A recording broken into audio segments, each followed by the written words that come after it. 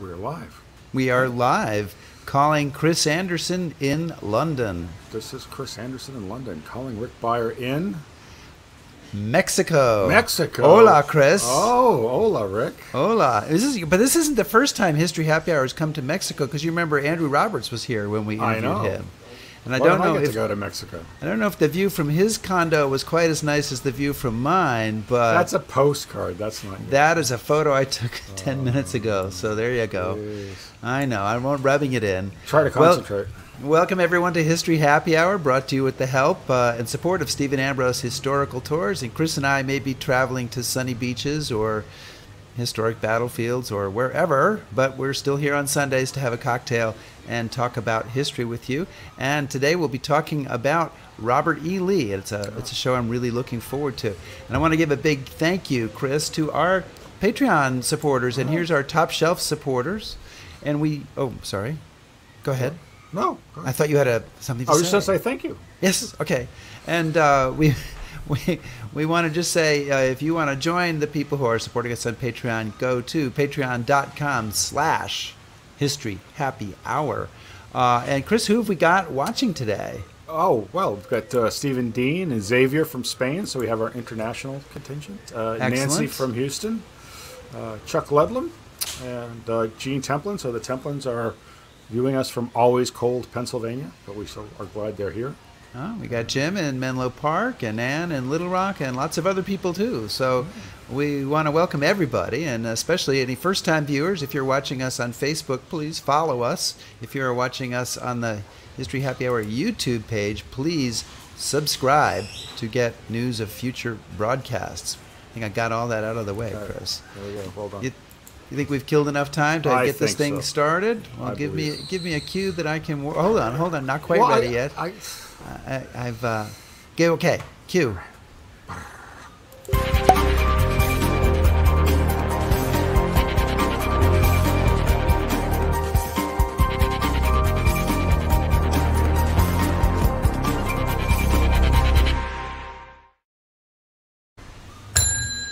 And the bar, bar- oh, the is bell made it. open, and the bell made it to Mexico. Yes, the floor is yours. Yes, well, I mean, uh, super excited uh, about this week's show.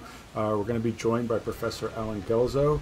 Uh, and Professor Guelzo serves as the Senior Research Scholar in the Council of Humanities and the Director of the Initiative on Politics and Statesmanship at the James Madison Program at Princeton. He was prof- uh, formerly a Professor of History at Gettysburg College. And he has written more books. If I listed them all, we would not have any time to talk about uh, his new biography, but amongst his publications are Abraham Lincoln, Redeemer President, Lincoln's Emancipation Proclamation, The End of Slavery in America, Gettysburg, The Last Invasion, and Reconstruction, A Concise History. But tonight we're here to talk about his new biography of Robert E. Lee, A Life. So, we go. Yeah. So, Allen, welcome. Well, thank you very much. Thank you very much. It is it is good to be in the midst of a happy hour. There he is. It always is. Yes, it's always a good sign. Chris, I have a Mexican stout, believe it or not. Is there such And a thing? It turns out. So there you go. I'm just That's water all. tonight, but Ah, bummer.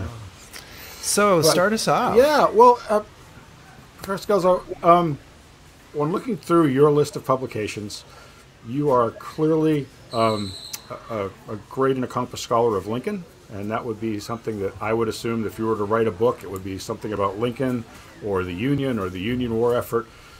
I would not have expected you to decide to do a new biography of Robert E. Lee, so I'm kind of curious as to why you chose Lee as a topic and, and what got you uh, interested in, in doing Well, partly there's a contrarian streak in me, so that having done as much work as I've done on Abraham Lincoln and on the Union aspect of the Civil War, um, there always was the little voice that would say, "Yeah, but you should you should zig when they zag, and perhaps look at things through the other end of the telescope."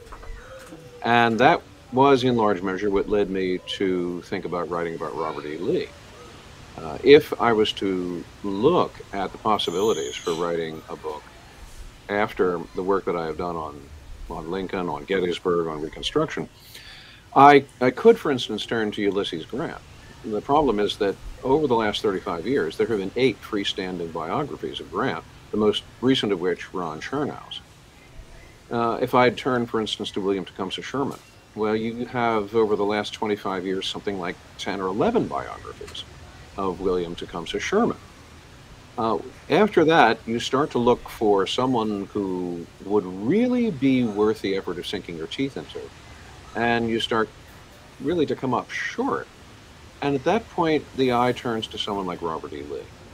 Because if you look to the Confederate side of things, uh, the leadership of the Confederacy was, well, it was a, a, a fairly unimpressive roster starting with Jefferson Davis as president, moving down through Alex Stephens as vice president, and so on and so forth. The one great standout for the Confederacy is Robert E. Lee. If there is a person on the Confederate side that you want to use as a balance to talking about, let's say, Abraham Lincoln, then the yin to that yang is clearly Robert E. Lee. So those inclinations pointed me in the direction of Lee. And perhaps there was also one other thing, and that was the matter of challenge. How do you write the biography of someone who committed treason? Uh, that was a challenge in its own right because it presents you with a very difficult subject to write about. When you write about Abraham Lincoln, you can you can admire Abraham Lincoln, you can admire Ulysses Grant, you can admire William Tecumseh Sherman. Robert E. Lee, it's much more difficult to do because at the end of the day, you cannot escape this one very simple fact, and that is he raised his hand against the oath he, he had taken, against the flag he had served, and against the country that he had pledged himself to. Uh, how do you reconcile? How do you write difficult biography? And the fact is, you can't avoid writing difficult biography because not every biographical subject is going to be an easy or appealing one. How do you write difficult biography, and especially how do you write the biography of someone who committed treason? And I don't use the term lightly either. No, and, and I go ahead, Chris. Oh, so I just want a quick follow up. And do you think that it's that complexity that might be why there haven't been as many recent biographies of, of Lee? I mean, you talk about you know the biographies of Sherman and Grant, and do you think maybe that's why that that topic hasn't been touched until you revisited it? Well, I think that is part of it. There's also there's also a more practical, logistical question, and that is um, Lee's papers, and, and Lee was a compulsive letter writer. When it when it came to private correspondence, he must have written easily somewhere between six and eight thousand letters in his lifetime. Sometimes multiple letters on a single day. The difficulty is that there's no central collection of them. Right there's no one place you can go or maybe two places you can go and just kind of set up shop and work through the material. Instead, there are some fairly large collections at places like Washington and Lee University, the Library of Congress, uh, the Virginia Museum of History and Culture. But beyond that, Lee's papers are scattered in penny packets all the way from the Morgan Library in New York City to the Huntington Library in San Marino, California and, and at points all between. And tracking all of that down is, let's say, a challenge just in its own right. Contrast that with Lincoln. You have the Basler edition of the complete works of Abraham Lincoln. You can go to that very easily. You have the uh, edition of the papers of Ulysses S. Grant. You can go to that very easily. You have collections of papers of William Tecumseh Sherman. Much easier to access that way. Lee, it is formidable. Hmm. The simple logistical problem yeah. of accessing, pulling together all of the material that would have Robert E. Lee's name on it. Uh, that uh, that is a challenge in its own right, and I think it has scared away a number of potential biographers of Lee. And then maybe another thing which scares them away too is the fact that in the 1930s, one person did in fact scale that Himalayan range of challenge, and that was Douglas Southall Freeman, uh, who produced a four volume biography of Robert E. Lee, which won the Pulitzer Prize. And it was extremely well researched. Uh, the material that you find marching along the bottom of the pages and the footnotes is daunting just to look at because you're always thinking, my goodness, how did he find all this material? Um, people look at that those four volumes and they say, how can we improve on that? Yeah. And that is another discouragement uh, for people who are inclined to take uh, at least some thought of writing about Robert E. Lee. Mm. Well, of course, um, I think it's fair to say that Freeman is. Um, uh, his admiration of Lee is not tempered uh, by much concern oh, no. over over treason. You've written a much more sort of even-handed biography, which I think resonates with the temper of the times. You talked about this moment, which is the pivotal moment in Lee's life, uh, and you devote uh, where he throws in with the South, this moment in the spring of 1861. And you devote a lot of time to it in the book, which was great because you really dived down into the details. But here's a guy who spent 30 years in the U.S. Army. Let me put up a picture a little younger than we usually see. I think this is him from uh, early 1850s, right? Mid 1850s. Probably um, mid 1850s. Yeah. Yeah, it's based on uh, based on some images that were done when he was the superintendent at West Point. Right. So here he is. He spent 30 years in the U.S. Army, swore an oath to protect the government, said he didn't like slavery, hated secession. Secession is revolution. Secession is treason. Uh, he is up to that point in his life the soul of caution in almost everything he does.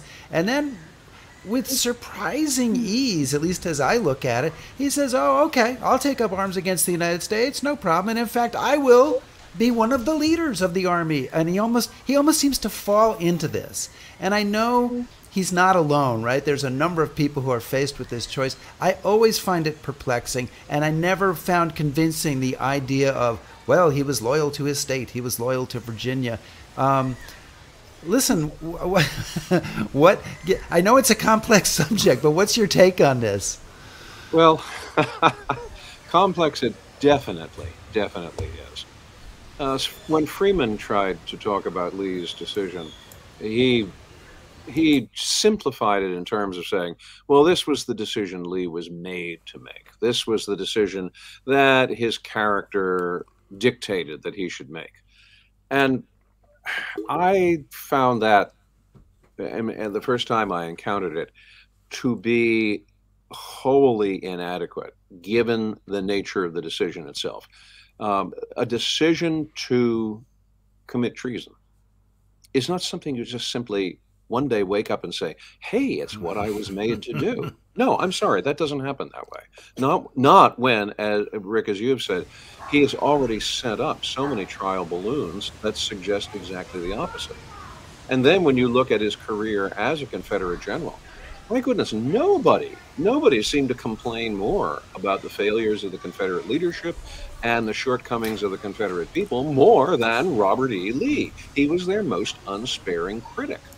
So, what accounts for the decision that he makes? I don't think it can be simply written off the way it is sometimes done by saying, well, Lee felt he was obliged to follow his native state, Virginia. When Virginia secedes from the Union, Lee believes he's obligated to go with it. That's an explanation that Lee himself offers, but only after the war, when he is brought before the Joint Committee on Reconstruction, when he's under indictment for treason he doesn't really lay that kind of argument out at any time before, and certainly not during the process of decision. And I think there's good reason for that. For one thing, he doesn't really live in Virginia for most of his life. When uh, Robert E. Lee is born in uh, in 1807, he's born on the northern neck of Virginia, but he's only there for some four, five, six years.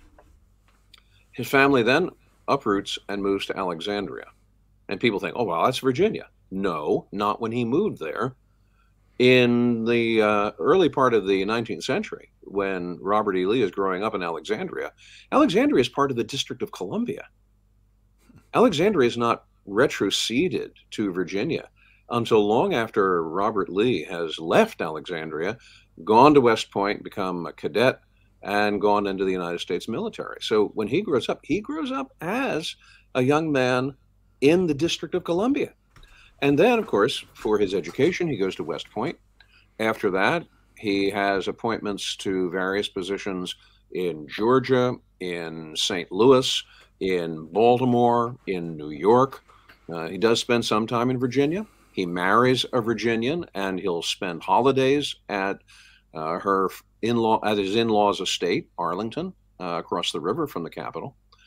But he actually spends more concentrated time in his life in New York than he does in Virginia because he had two, actually, if you count his uh, college uh, years, uh, he, has got three postings that take him to New York. He is a cadet at West Point. He's the post engineer at Fort Hamilton on the Narrows. Uh, and then he's the superintendent at West Point uh, in the mid 1850s. He actually spends more time in New York that way. From there, he goes to Texas to become lieutenant colonel of the 2nd Cavalry. By the time we get to 1860, uh, he's actually spent more time, more concentrated time in other places than he has ever actually spent in Virginia. So, is this some romantic Virginian loyalty? Uh, is he is he singing "Carry Me Back to Old Virginia"? I don't really so.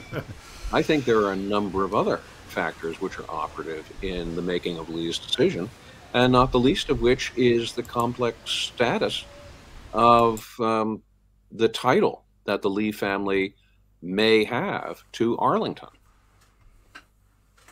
So, so there you go. I'm I, I almost you almost, I almost left myself I almost left yeah, myself yeah. muted there. Uh, well, can I do a follow up, Chris? Yep, yeah. So very briefly, I mean, I thought your your your your argument in, in brief that that was that he is he's concerned literally about his his property, as you say, and the and the and his family, what gets left to his family, so that he's not so much being loyal to an ideal of Virginia as he is perhaps making a narrow decision based on what's going to be good for the Lees, which of course turns out to be a catastrophically wrong decision uh, as well. Yeah. Uh, I thought originally that what I was looking at was a decision which Lee makes. And in fact, I, one early version of this I wrote as an article for the Civil War Monitor. I called it simply The Decision, uh, trying to describe this process in April of 1861. But the more I worked on it, the more I realized this was really a series of decisions. This was really a fall of dominoes for Robert E. Lee. And the fall of dominoes begins really with Arlington. Robert Lee married Mary Anna Randolph Custis. She was the daughter and only child of George Washington Parke Custis, the step grandson of George Washington.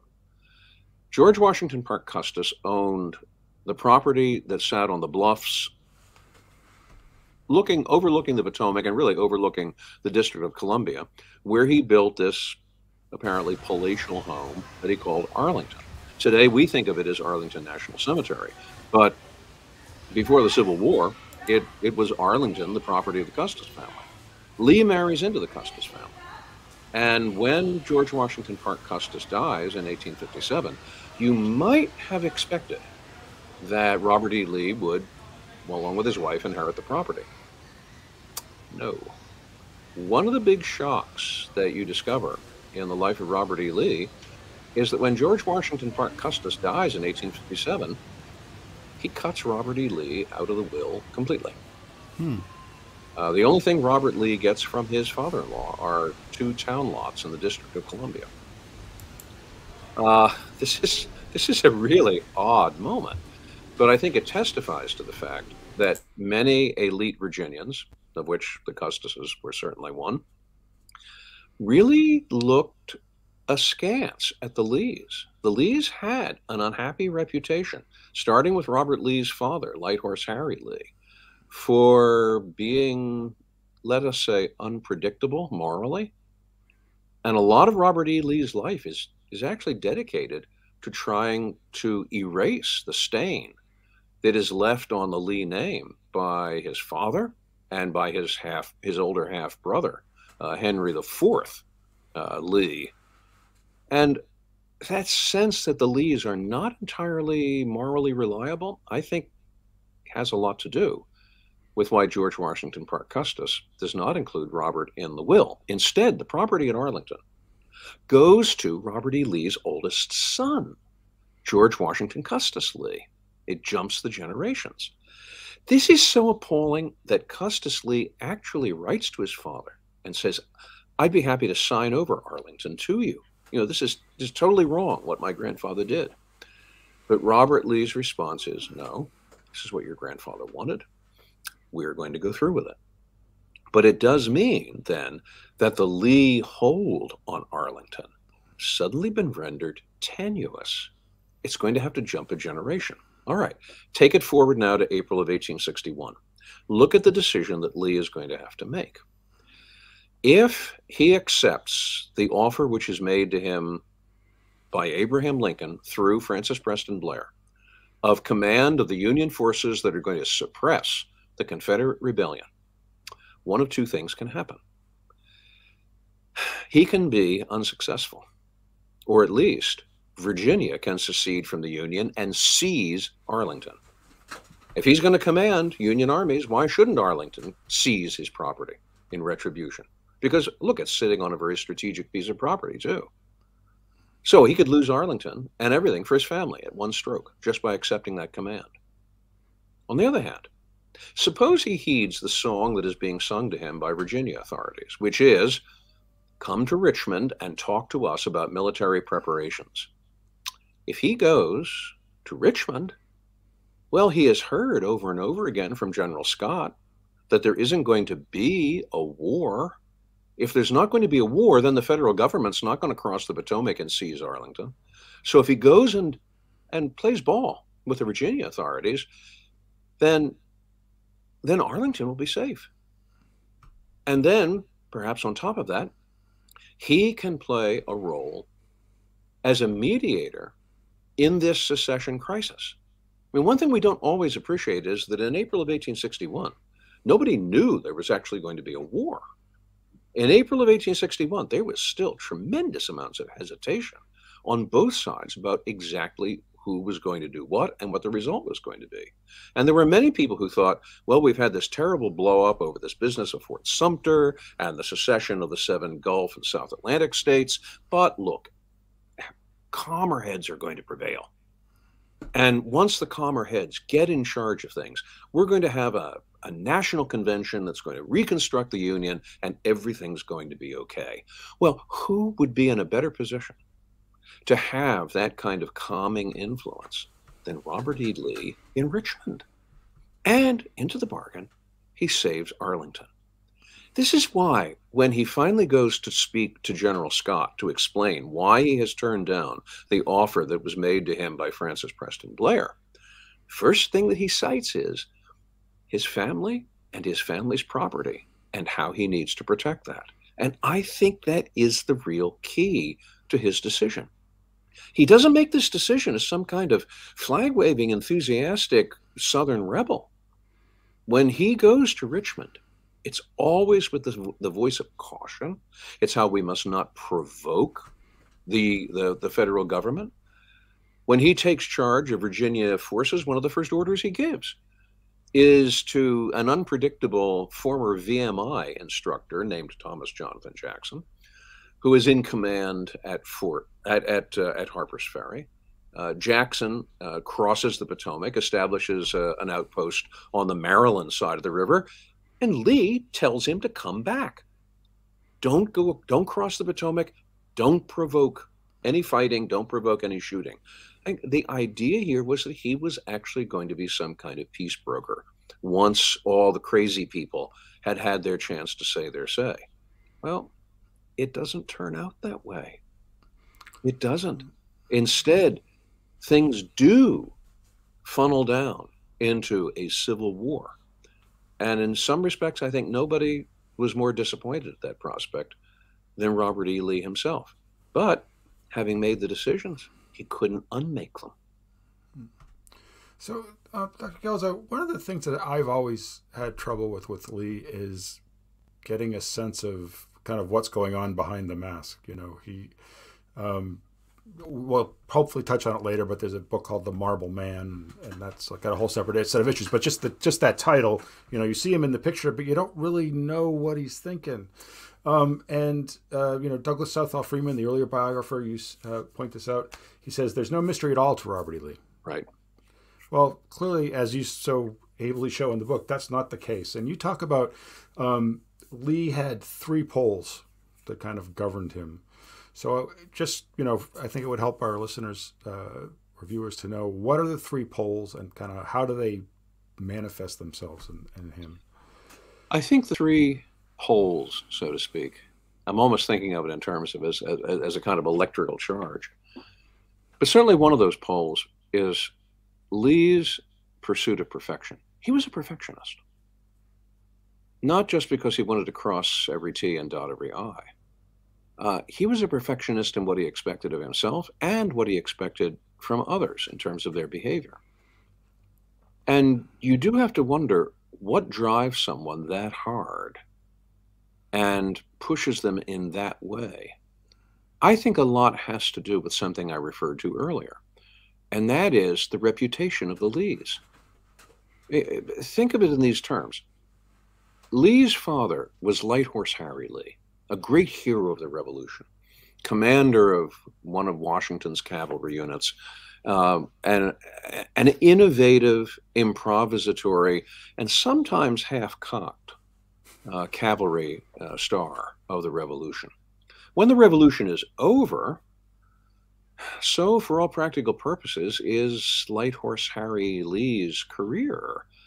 He's got no more battles to fight. He tries to get involved in real estate investment. He marries into uh, another branch of the Lee family. That's what brings him the estate, Stratford Hall, on the northern neck of Virginia.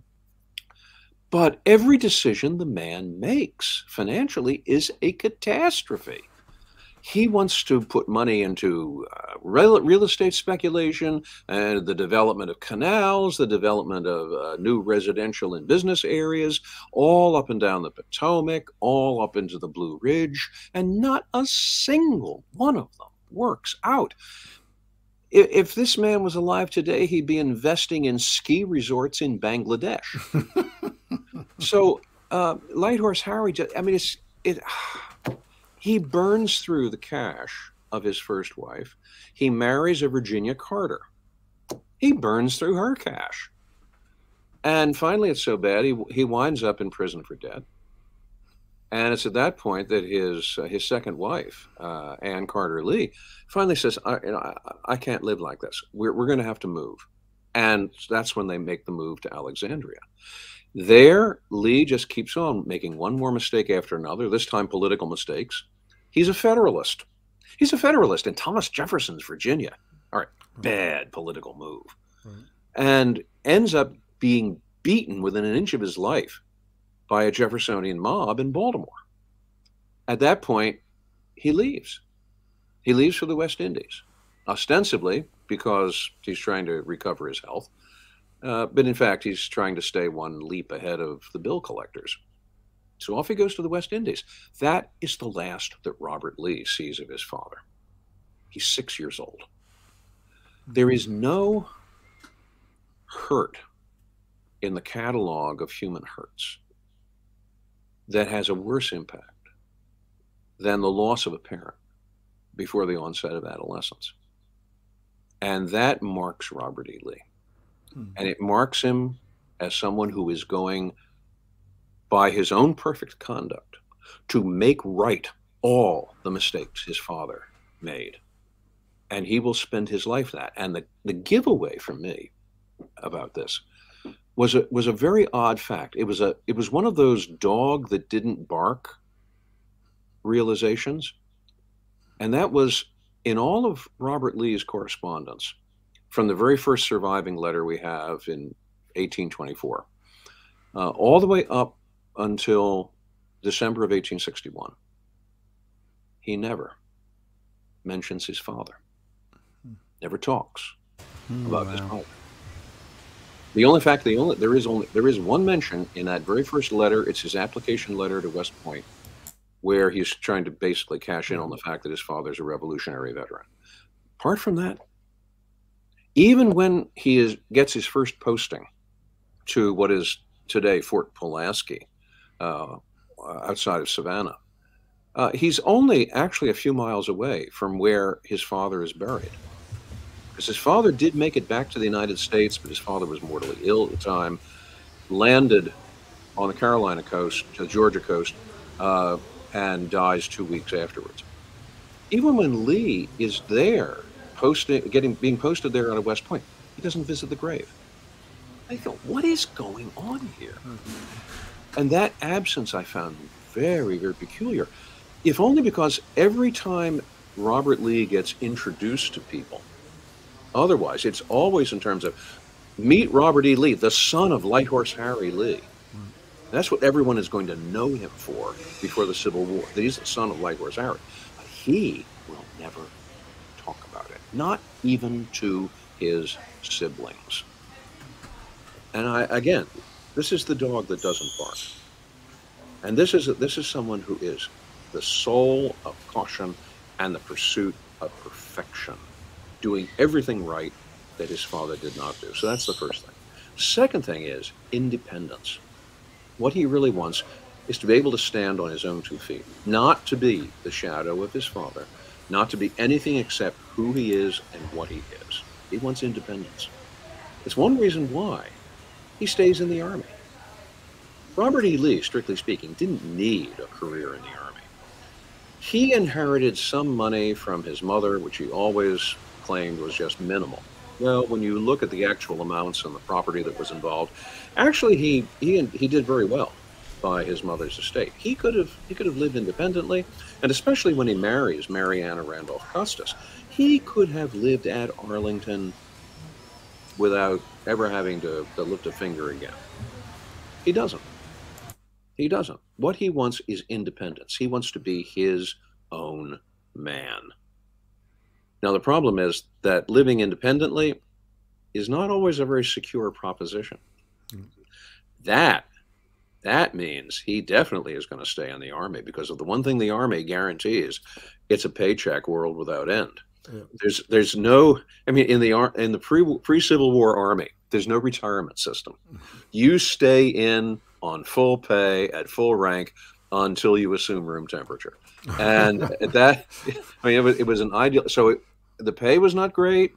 Uh, you you could get sent to uh, odd places all around the North American continent, but one thing you had was definitely security. So those three things I think that really really push the man: perfection, independence, security, and those three are not always they're not always coordinated with each other because he has security being married into the Custis family but that doesn't mean he gets independence from the Custises. Oh, no, no, no, no, no. The Custises want him in the worst way to come to Arlington and basically be the major domo right. for their estate. And he doesn't want to be under their finger. And yet, he also wants security. How is he going to get it? He's going to get it through the army. He is he's hitting these poles at different moments in his life, always in that pursuit of things. Curiously, he doesn't really get them all lined up again until the Civil War. The Civil War is the moment when Robert Lee finally comes into his own as Robert E. Lee, as an independent personality on his own. And it's significant that that is also the moment when he finally starts talking about his father. Now, it becomes even more apparent after the war when he becomes the president of Washington College. Because when he becomes president of Washington College, he gets security because he's the man who is going, uh, without question, he's going to be the man who's going to make Washington College a success. Otherwise, the place is kaput after the Civil War. But he also gets independence with it because when the Board of Trustees appoints him as president of Washington College, they may have thought they were appointing a figurehead somebody whose name would look good on the letterhead of the uh, correspondence. Mm-mm-mm. When Robert E. Lee takes charge as president of Washington College, he takes charge of them. They become the figureheads. Mm-hmm. And he starts revolutionizing the curriculum. I mean, it's an extraordinary thing, thing to see happen. But he turns Washington College upside down in terms of its faculty, its curriculum, and what surprisingly enough, there's no there's no inkling of this anywhere in his life before this. He is a great fundraiser. I mean, this man knew how to shake the apples out of the trees. He takes a college in 1865 that, that barely has any money in the bank. And within five years, he's built up a quarter of a million dollar endowment. A quarter of a million dollar endowment, that's a lot of moolah in 1865 to 1870. Uh, and, he, and the amazing thing, he does it mostly from Northerners. Hmm. He's able to persuade Northerners to send lots and lots of money to the support of Washington College. But he also gets perfection there, too. There's Allen, this oh. there's a wonderful story about Lee. You know, when students would come to Washington College, he would interview each one, and he would tell them this. He would say, "We have no rule book here at Washington College. You know, we just all we require is that everyone shall be a gentleman." And people look at that and they say, "Oh, isn't that generous of him?" No, it's not. What it means is Robert E. Lee is the rule book. Robert E. Lee is the judge and his judgment is going to be perfection. He finally gets all three of those lined up. Allen, I want to. Uh, we have a, a, bunch of questions that people have uh, put up on our on our question board here, and I'm going to try to synthesize a few of them into, into one question. And I do want to also just answer one person to say the background noise is because I'm on a balcony in Mexico uh, today for today's show. We did get a question about that. Um, hola. Anyway, so um, uh, people want to know about Lee's generalship, and obviously this could fill, let's say, half a book because it does uh, uh, in your book. So you're going to have to, we're going to have to to be short on that. But one person, Chuck Ludlam, says, "Is it fair to say that Lee didn't need to invade the North either time, and when he did, he made huge mistakes?" Um, and another person uh, asks, um, you know, was Lee that good, or was he just lucky to face incompetent generals from the Union? And I would throw in, I, I don't want to throw so many questions at you that you're, you know, that you're going to be answering until Tuesday. But what I want to know, we've talked about this man craves security. He's cautious, and then he becomes the commander of the Confederate forces, and he seems to transform into a riverboat gambler, who is one of the whose audacity itself, according to one of the uh, uh, the people in his in his circle who wrote about it. So, uh, give us a little bit on Lee as a as a general, and, and whether we should respect that or whether we, he's just gotten a good reputation uh, by being in the right place at the right time. That comment about Lee's audacity comes through Edward Porter Alexander, who uh, later rose to become chief of uh, Lee's artillery. And it, it, it derives from a conversation Alexander had with a staff member uh, of Jefferson Davis's, a member of Jefferson Davis's staff, um, Joseph Ives. And Alexander, who in 1862 didn't know very much about Lee, was wondering out loud: Is is Lee? I mean, Lee's an engineer uh, is he really going to be able to lead people or is he just going to dig trenches? And Ives's response was categoric. It was, oh, Robert E. Lee is the soul of audacity. You're going to be surprised. He is audacity personified. Uh, to a certain extent, that's true. Now, I say to a certain extent because it's not because Lee was impulsive. Let's not mistake audacity for impulsiveness. Uh, impulsiveness is usually a quality in a general that gets punished pretty severely. But Lee was audacious in this sense. Lee had a very clear grasp of what the strategic necessities were in the Civil War. Lee understood what the power of the North was. He, spent so much time there. He knew. He also knew, or at least believed he knew, the weaknesses of the South. That too many people in the South simply expected that secession was going to be peaceful and uncontested and that they weren't going to have to make any sacrifices. Well, Lee realized almost as soon as he is put into serious command in 1862 by Jefferson Davis that the Confederacy is not going to be able to fight a 15 round heavyweight bout with the North. It's, it's not going to be able to do that. It's not going to last that long. It doesn't have it doesn't have the strength. What the Confederacy has to do if it's going to win, is to come out swinging in the early rounds, score an early surprise knockout, and declare a victory. And the way to do that is not to sit around in Virginia waiting for the Union Army to come and steamroll you. The way to win that kind of war is to move aggressively north of the Potomac into Maryland, rally Maryland to the Confederate cause, move into Pennsylvania, either win a military victory in Pennsylvania that will completely embarrass the Lincoln administration, or just occupy time moving around in Pennsylvania and showing how weak, ineffective, and inadequate the Lincoln administration is for the conduct of a war, and thus let political consequences take the heart out of the Union war effort. And Lee saw that very carefully. That was the only way the Confederacy was going to win. And that's the tactic that he is, that's the strategy that he is going to employ in 1862, and which probably would have taken him into Pennsylvania on exactly that logic had it not been for the infamous lost orders, Special Order number 191, which was lost and then discovered by Union soldiers and put into the hands of General George McClellan. And that brings on the Battle of Antietam. And that pretty much aborts the proposed invasion Lee was conducting in 1862. But Lee's back at it in 1863, and that's what takes him to Gettysburg. And if it hadn't been for the fact that Ulysses Grant launches his overland campaign as early as he does in May of 1864, Lee was contemplating yet another incursion north of the Potomac, all with a view to appealing to Northern war weariness and forcing a political end to the war and the opening of negotiations. That much Lee saw very clearly, perhaps even more clearly than any other important Confederate leader. So, as a strategist, my ranking of him is four stars. He understood the, lo- the he understood the big picture and what had to be done in terms of that big picture for the Confederacy to win.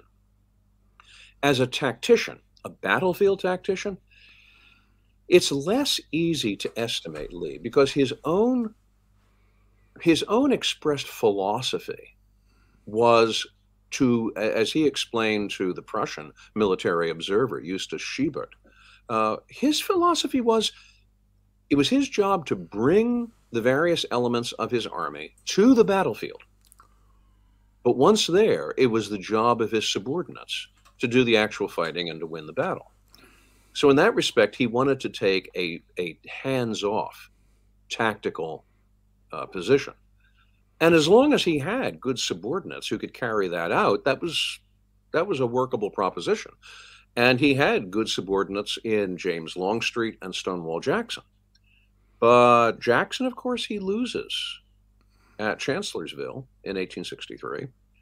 And Longstreet's taken off the board at the Wilderness in May of 1864. Uh, I mean, Longstreet will make something of a recovery and return to service uh, by the end of the war, but for much of the overland campaign, Longstreet's out of action. At that moment, Lee has to start taking tactical charge himself because he just doesn't have terribly good material to work with anywhere below that level. And it's very clear he does not find taking tactical control to be a very pleasant proposition. Uh, sometimes it'll, in fact, mean that he tries to ride out into the front of the battle and take charge of actual unit action himself.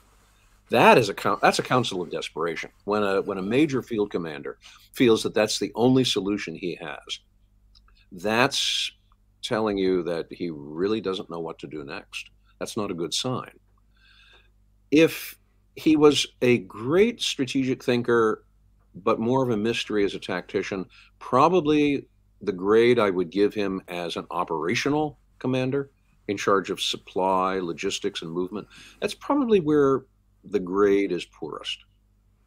And it's poorest because that's the moment when we're talking about operations and logistics when a commander has to interface with the politicians. And one thing Lee was utterly averse to doing was confronting the politicians. So it means that Lee's army goes chronically unsupplied during the war. And Lee really does not confront the politicians about it. He does not go to Jefferson Davis and say, Look, your commissary general, Lucius Northrop, is a total incompetent. Get rid of him. He does not go to Davis and say, Your quartermaster general is, is a hopeless nincompoop. Get rid of him. I mean, in a sense, Robert E. Lee could have said those things to Jefferson Davis. But he won't do it because he's phobic on this subject of confronting the politicians. And for that reason, logistically and operationally, Lee is much less of a success than he could have been or should have been. Certainly, much less of a success than he was either tactically or strategically. But, but do you think, kind of picking up on that, uh, Dr. Guelzo, do you think that he was, it was wrong to, that he was so focused on Virginia? Because, you know, in the book you talk about um, how he's eventually given supreme command for whatever way you want to, how you want to describe that. But that doesn't really change his outlook. It doesn't, he doesn't all of a sudden say, okay, now I'm dealing with two theaters and this is what we're going to do. Um, is that a the right decision? Is it is it the wrong? I mean, I'm just kind of curious how he he just seems so focused on Virginia. If that's a criticism. Well, I, people have sometimes said, and Thomas Connelly in 1977, when he wrote *The Marble Man*, uh, made this argument as explicit as it's ever been made. Uh, Connelly, who was the great historian of the Confederate Western Theater, hmm. uh, really believed that Robert E. Lee helped to destroy the Confederacy by channeling so much of the Confederacy's resources into Virginia because he was a Virginian uh, when really the, the, really important operational theater of the Civil War was the West. So uh, Connelly positions Lee as this person who sucks in the Confederacy's resources, sucks in Confederate attention to his own Virginia, uh, and thus leaves the West uh, to to look out for itself, which Connelly thought was really what contributed to the, the defeat of the Confederacy. I'm not convinced of that. Right. I'm not convinced of it, largely because, like it or not, Virginia really was the key piece of territory for the Confederacy. Virginia, especially especially after the early spring of 1862, when, for all practical purposes, the Confederacy lost any hope of recruiting Kentucky, when the Confederacy lost control of most of Tennessee, most of the Confederacy's infant industries were in the upper South. And those were the first things that were lost. The only place that you really had serious industrial um, uh, capacity uh, after uh, the midpoint of 1862 was Virginia. If you lose Virginia, it's over. There's really no way the Confederacy can continue to carry on uh, the supply of war. So Lee understands that Virginia really is the the major piece of territory. It is the vital piece of real estate that the Confederacy must hold on to, and within Virginia, especially Richmond and Petersburg. Right. He was he was very clear in 1862 when uh, when McClellan threatened Richmond. We cannot abandon Richmond. If we abandon Richmond, it's all over. In 1864, when Grant is making his move through the overland campaign, uh, Lee is very explicit. He says if Grant manages to clamp Richmond and Petersburg into a siege, then it's all over. It's we're not going to be able to survive. And he was right because when Grant finally does capture uh, Petersburg and Richmond uh, at the beginning of April 1865, Lee's army survives for exactly one week on its own before hmm. it finally surrenders at Appomattox. So Lee's thinking actually was, again, strategically speaking, very clear. The really key theater was uh, Richmond. The war could be lost there by the loss of Richmond, or the war could be won there either by successfully threatening Washington, D.C., or by inflicting so much political pain on the northern northern states, especially Pennsylvania, um, that uh, the Northern public finally says, we're sick of this. We're going to require uh, Lincoln to go to the negotiating table. Um, I, when, when Lee dies in 1870, the New York Herald writes, and you have this in your book We have long since ceased to look upon him as the Confederate leader, but now have claimed him as one of ourselves. This is five years after he led uh, Confederate forces against the United States in a war that killed more American soldiers than any war ever. Um, that's a pretty remarkable transformation. Uh, of course, nowadays, um, uh, that view is perhaps no longer uh, extant quite the same way. Uh, we have Lee statues coming down uh, all over the place. People kind of uh, rising up in arms about some of that. So, so what would Robert E. Lee uh, make of Robert E. Lee statues coming down and sort of the transformation in his own reputation from 1870 to today? I think Robert E. Lee would be surprised and distressed that there were Robert E. Lee statues at all.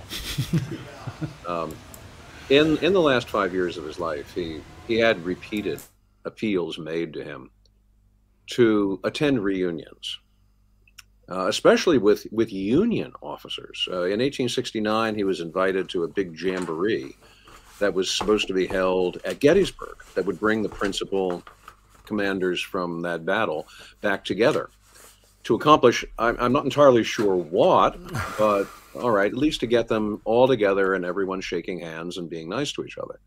Lee declines. It's a good photo op. Yeah, yeah. Well, it was it was an op that didn't happen in this case because Lee writes to the organizer, David McConaughey, and says, "I really don't think this is something that I want to do uh, because I just think we need to move on from this." we need to stop thinking about the war.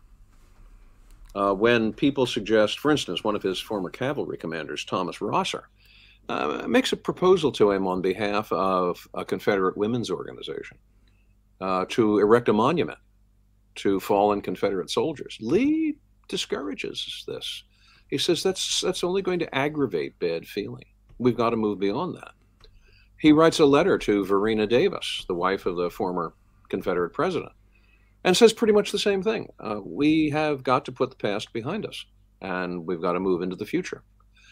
Part of that, I think, is eh, eh, part of it is a eh, is an idealism that you can applaud to a certain extent. I mean, here is someone who is telling the Confederates, "You lost. Deal with it. Get over it. We have a past, and it's going to be a past, as, uh, and and that's and it's dead." we have a future, and the future is going to be part of the United States. So we're going to have to live that way. So part of it's principled, but also part of it's pragmatic too. Uh, part of it, and the pragmatic part is let's not poke the hornet's nest. Uh, we're trying to get through Reconstruction with as few constraints as possible on the South. Let's not do things that will aggravate Northerners and make them clamp down on us. So there's a mix of the principle and the pragmatic in Lee's response. But basically, his response is don't, don't do statues. And I think the idea of putting up statues to Robert E. Lee would probably have, have aggravated him more than, than flattered him. Um, on the other hand, Robert E. Lee is not what you would call uh, a perfect icon of Reconstruction either. Mm. He will, uh, as long as he's president of Washington College, he will prevent students from harassing freed slaves and especially the schools that were set up for freed slaves by the American Missionary Association. Uh, he, if he catches students uh, playing pranks that way, and some of these pranks were almost lethal, uh, if he catches them doing pranks, he'll expel them. But is that because he really is the friend of the freed slaves? Or is it because, again, pragmatically, he's trying to avoid some kind of confrontation with federal authorities? It's not always easy to pull the two apart. So, how would Lee respond to these things? Well, it is curious when you read an encomium like that of the New York Herald. How could, in just five years, everyone have decided that Robert E. Lee uh, should not be regarded as a traitor, that Robert E. Lee should be regarded as, as an American hero of some definition, however you define hero. But bear in mind, bear in mind two things. One is that for many Americans in the North, uh, the Civil War was only an episode of a larger struggle in the 19th century. The United States is an island as a republic, as a democratic republic, in a sea of autocracies. And we were very much threatened or felt threatened at all points by autocracies, for instance, the French autocracy that was set up in Mexico, or even by the British in Canada. And the sense that we had to face a hostile world as a democratic republic meant that for after the Civil War, there was a great incentive for people to say, look, we've got to get together. We've got to create a united front again because we are this, we are the only large scale, successful surviving republic in the Western world. We have to unite. We have to face down the possible uh, attempts of foreign dictators, kings, emperors, and whatnot uh, to undermine the American Republic. So let, let's let's get over the war. Let's uh, exalt Robert E. Lee. Let's promote a spirit of reconciliation because we are living in a threatening world. Now, we don't sense that today. We don't feel like we're living so much in that kind of world. But in the 1870s, Americans did feel that way, that they were this citadel, this outpost and trying to present this kind of united front to a world full of hostile political regimes was uh, was a very serious effort on their part. So yes, let's let's rehabilitate Robert E. Lee. We may need him at some point. Chris, you want one more? We we can we can go a little long. Okay. Well, yeah. I just I mean. You, uh, Robert E. Lee is one of these figures that everybody knows something about, or at least thinks they do. Um, you approach this biography, as you said, you know, there there have been a lot written earlier, but there have been this gap of biographies, and you're coming back to the subject. You obviously bring a huge knowledge of the period to your research, but in doing, spending so much time with Lee, um, did you find things that surprised you about him, or things that you didn't expect to find? Um, and and kind of wrapping up totally, how do we deal with Lee now? How do Americans what do they do with him? Well, that's that's two very complicated questions. Um, is there anything about Lee that surprised me? Yes. The big thing that surprised me was how difficult it was to to figure the man out, to understand the man. He was frequently described as the marble model, and when Connelly uses a phrase like that, the marble man, as his biography, uh, the title of his biography of Lee, or at least a study. It's not so much a biography as it is a study of Lee. That's that that yeah, that really lays out a lot of the impression that Lee made on people. That somewhere behind the shield the man always presented to people, there was something that they just couldn't fathom. They just couldn't penetrate to.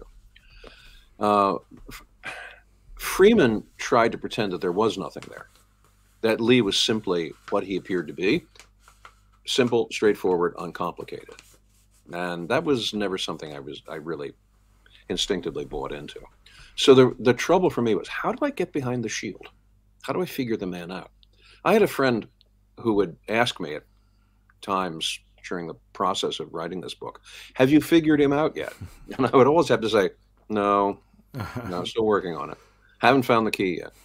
And it wasn't until slowly, laboriously working through this this enormous mass of Lee correspondence and papers that I started to pick up the threads of the three poles that I talked about: perfection, independence, security.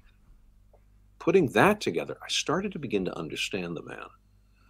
But that was a surprise because you had to get behind that shield in order to do it. You had to piece it together. You had to find the little the little cracks in the teacup that would open up an entire vision into the man's character.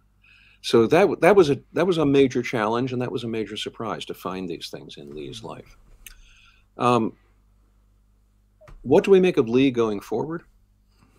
Well, for a long time, people talked about Lee as a great model for Americans to follow, which I always found a rather difficult prescription. Because how do you follow the path of someone who committed treason?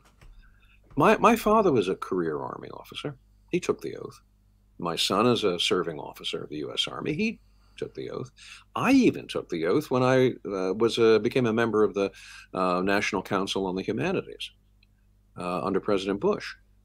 And I, that, to me, that was a serious moment. How does how does someone go back on that? I just can't look at someone who goes back on that and and, and treat it lightly. So I have myself the, a view of Robert E. Lee that is filled with a certain sense of anger. Why did he do it? If I mean, if there's a question that echoes on every page of that book, it's that question. You know, why did you do it? And the answer that emerged from looking at the way he made his decisions is so inadequate. You almost say, you shouldn't have done this. You did it wrong. So I want to rebuke him. Yet at the same time, I also understand he made other decisions too, which in an ironic way saved us. And what I what I'm thinking of particularly is the surrender at Appomattox. Mm-hmm. Lee could have gone to Appomattox, talked with Grant, and said nothing doing, and walked out of the McLean house and told his army to scatter to the hills and carry on a guerrilla war. Now, we had a bad enough time as it was during Reconstruction. There were kind of, uh, Reconstruction was a kind of insurrection, kind of insurgency but nothing that it would have been if Robert E. Lee had gone to his army and said, "Forget it, boys. Head for the hills. We're going to carry on for, and fight these Yankees for another 30 years behind every fence and behind every tree in the Appalachians." The cost that that would have exacted on us as a as a country is almost is almost beyond reckoning. Surrendering the way he did was probably the best thing he could have done for the country. So there are there are there are parts about him that I have so much difficulty with. There are other parts that I can say that I'm grateful for. I try to be guided in putting all of this together by a favorite literary critic of mine, the great John Gardner, who made a very early impression on me. I was reading Gardner back in the 1970s. And he had a formula which which which guided me in dealing with Lee, and I think can guide us in dealing with any difficult biography. Gardner said, "No compassion without will." In other words, no cheap empathy, no cheap bygones be bygones, no compassion without will. You have to have the will to judge. You have to have the will as a history person, as a biography biographer to say, this person was wrong. What they did was wrong. What they thought was wrong. And Lee's attitude towards slavery is wrong, and he knew it was wrong. His his decision to turn on his country was wrong, and he knew it was wrong. So you have to have the will to make that judgment. And I, I make that judgment. Probably some people are going to be very angry at me for saying that about Robert E. Lee. All right, I'll let the chips be where they may. But at the same time, you have to show as you have to show that will to judge you also have to have compassion because this is the other half of gardner's formula no true will without compassion so at the end of the day what do i do with robert e lee i try to do what many people in those days said and that is we cannot be a nation that hangs people that hangs its its defaulters this is a nation which has the capacity to forgive. It can forgive even the kind of thing that Robert E. Lee did. I think that glorifies us as a democracy much more than the exacting of the pound of flesh, historically or otherwise. So, yes, I'm going to exercise the will to judge. But at the same time, I want to also exercise the will compassion. And I think that is a way for all of us to move forward. Allen Guelzo, uh, thank you so, thank much, so much, for your, uh, you know, your erudition and your uh, eloquence and your thoughts on uh, Robert E. Lee. And we want to remind if, if, every member of our audience has not already bought the book, I'd be surprised. but but you as a rem- they should as a reminder, Robert E. Lee, A Life by Allen Guelzo. And thank you so so thank much for so joining much, us today on History right. Happy Hour. Rick, Chris, thanks very much for the opportunity, and it's been a fun time. And uh, enjoy London and enjoy Mexico. Okay, well, Thanks I'll enjoy so Mexico for one more day, and Chris right. has some time in London. Take care. Thank you so much. Well, Chris, we went a little long, but wow, yeah, so worth so worthwhile. Wow, um, wow. I, I, listen, a couple of things though before we, we yes. jump away. Uh, I want to mention um, that there are four spots left, Chris. I think still on our Normandy yep. masterclass, and this is where uh, uh, five Stephen Ambrose historians are going to be bickering among themselves for a week about who knows more about Normandy, and you could be there uh, for right. this in April. Uh, uh, but seriously, I think it's going to be a great trip uh, yeah, that people might want to take a look at. On Normandy, and I'll put that. Uh, it's not on the website because it's secret, right? So shh, don't tell anybody. Uh, but I'll put that phone number up there. That's the Ambrose Tours phone number. You can call and get details about it. That's a one-week trip in April that I think is going to be very different and very special.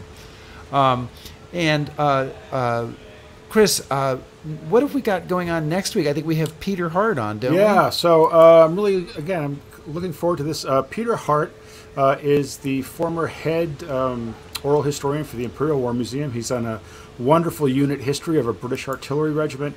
Um, which is fascinating in its own right, but uh, he's also great because he's the co host of a podcast called Pete and Gary's Military History, which is one of those things that got me through lockdowns. So uh, really looking forward to talking to Peter about his new book, about oral history, about interviewing all these veterans, uh, and kind of the craft of. Because wasn't he like 20 years head of oral history at yeah. the Imperial War Museum? So, so when he writes his books, he actually talks to the guy who's quoting, which yeah. is well, well, well, well, our current author today, uh, Allen, who's still listening, I see. Yes. He, he could not talk to anybody who was. I was great.